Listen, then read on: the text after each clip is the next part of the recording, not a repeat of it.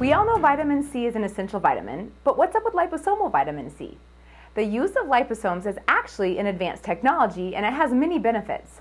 Liposomes are an artificially created vesicle made out of the same material as a cell membrane, which is the protective layer around every cell in our human body. To understand what a vesicle is, visualize it as a microscopic fat particle with a bubble of liquid inside. This bubble is a carrier for many different types of substances, and in this case, it's vitamin C. This carrier bubble protects the vitamin C and delivers it to different parts of the body.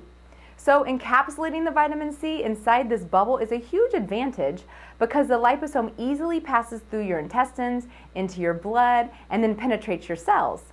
The vitamin C is slowly released, particularly at disease sites, including tumors and sites of inflammation.